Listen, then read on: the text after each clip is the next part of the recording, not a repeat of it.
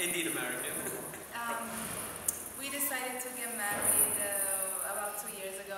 He proposed to me, and we wanted to have an Italian wedding, and a wedding in Italy since I am Italian.